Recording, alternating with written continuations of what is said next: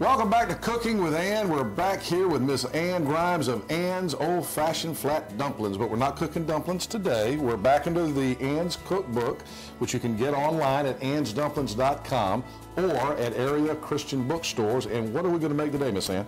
We're going to make Peggy's orange icebox pie. Now, who's Peggy? Peggy's my sister. You've named all your famous dishes after somebody. You going to name one after me. Well, if you give me a recipe that's worth eating. Now, this is your sister's recipe? that's my mother's recipe, but it was her favorite dish. Oh, and this is a dessert. We never could get any. She ate it all.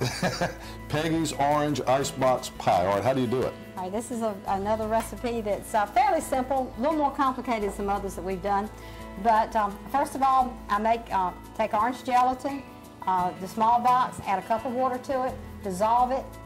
Then I take the juice of one orange, the zest of one orange, and um, a cup of sugar. The zest That's of one um, orange. where you actually get the um, outside. You've got Oh. a zester like a scraper, a grater. I got you. grated, Okay. That's what a uh, zest is and mix called? in it. That's the Okay. zest, um, right. and stir it up. Put it in the refrigerator, and when it's kind of wiggly, Yeah, soft, looks a bit like Jell-O. almost like Jello, but not quite uh, to that extent. Mm-hmm. Um, then it's ready to mix with and the evaporated milk. I use a can of evaporated milk.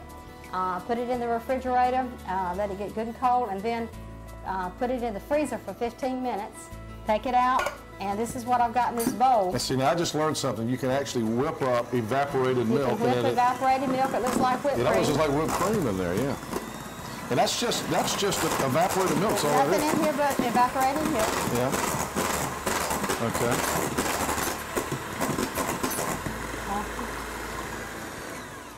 All right, now what? what I'm going to do is just fold this mixture in.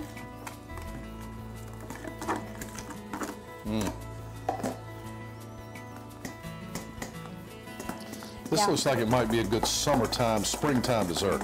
It's like, uh, actually to me it tastes like orange sherbet when it's fixed.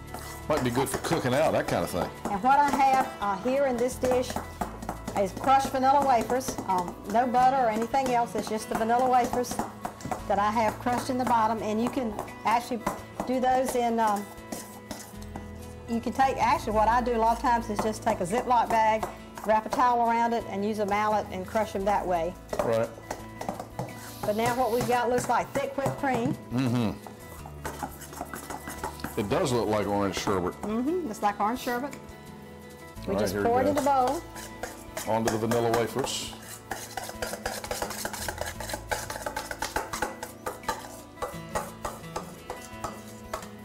All right. And this was your mother's recipe. This is my mother's recipe. How about that? And then I just sprinkle some on top. Ah, no, is that is that more uh, This crushed is, vanilla this wafers? is vanilla wafers. Okay.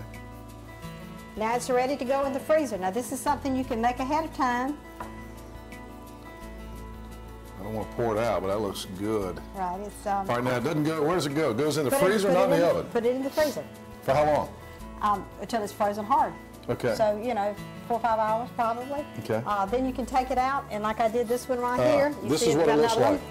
Now this is cold. This is This a is finished cold. product. That's a cold plate I right cut there. it in squares. Oh man. Have you ever had any of this? I have not. All right, let's see. Am I going to get some? Uh, absolutely. Let's see what we've All got right. here. I have my spoon. This, This, is, frozen again. like this is really frozen like ice cream. this, this is point, Peggy's can orange icebox you can pie. let it thaw out to where it's softer. Here we go. this is Here it frozen. is. I'm going to have it.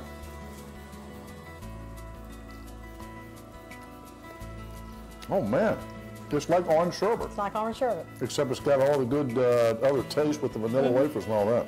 Thank you, Miss Anne. You can see this and other great recipes in Miss Anne's book. Get it online at annesdumplings.com or in area Christian bookstores. Thank you, ma'am. Thank you.